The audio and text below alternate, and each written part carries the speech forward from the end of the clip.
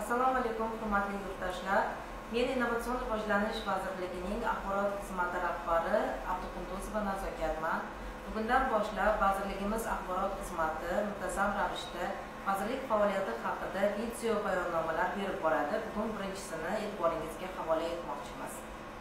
Demak 16-17 avgust kunlari o'zbekiston respublikasi innovatsion rivojlanish vazirligi huzuridagi mirzo ulug'bek nomidagi fizika matematika astronomiya va informatika fanlariga ixtisoslashtirilgan davlat umumta'lim maktab internatiga o'quvchilarni qabul qilish yuzasidan 2019-2020 o'quv yili uchun test sinovlari bo'lib o'tmoqda.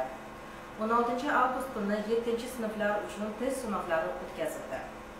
Qoraqalpog'iston respublikasi toshkent shahar va viloyatlar bosqichlarida birinchi ikkinchi uchinchi o'rinlarni egallagan o'quvchilarni suhbat asosida vazirlik tasarrufidagi ixtisoslashtirilgan maktab internatlariga qabul qilish belgilangan. Maktab internatga o'zbekiston respublikasining barcha hududlaridan yettinchi to'qqizinchi o'ninchi sinflariga o'quvchilar qabul qilinmoqda. Ta'lim o'zbek va rus tillarida olib borishi ko'zda tutilgan.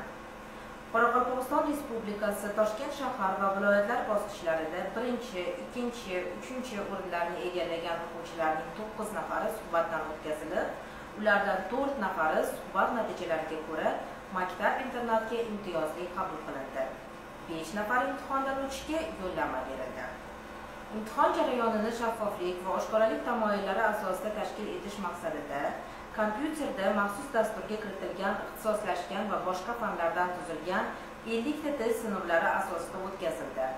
Har bir to'g'ri bajarilgan topshiriq 2 balldan jami 100 ball bilan baholandi va uni bajarish uchun 9-90 e, daqiqa vaqt ajratildi. 7 sinfning o'zbek guruhiga jami 112 nafar o'quvchi hujjat topshirgan bo'lsa ulardan bir nafari suhbat asosida qabul qilindi. 17 nafar o'quvchi 60 dan 38 ballgacha to'plab maktab internatga qabul qilindi. 30 36 ball to'plagan 6 nafar o'quvchilardan 3 nafari qo'shimcha suhbat asosida o'qishga qabul qilinadi.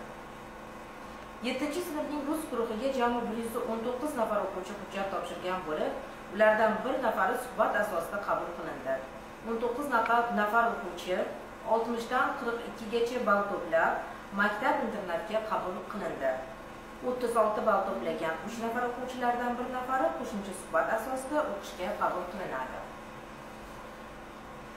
O'zbekiston respublikasi innovatsion rivojlanish vazirligi tasarrufidagi abu ali ibn sino nomidagi yosh biologlar va kimyogarlar ixtisoslashtirilgan maktab internati 2019-2020 o'quv yili uchun qoraqalpog'iston respublikasi toshkent shahar va viloyatlar bosqichlarida bilimlar bellashuvi va fan olimpiadalarining birinchi ikkinchi uchinchi o'rinlarini egallagan o'quvchilari suhbat asosida o'qishga qabul qilindi.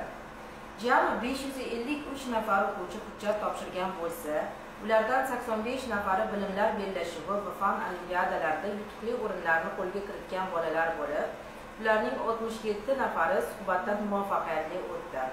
Qolganlari test sinovlariga yo'llanma oldilar. Bugun va ertaga ibn sino maktabida qabul imtihonlaridan oldingi konsultatsiyalar jarayoni bo'lib o'tyapti. Yigirma yigirma uchinchi avgust kunlari imtihonlar bo'ladi va ular haqida to'liq ma'lumotlar beriladi.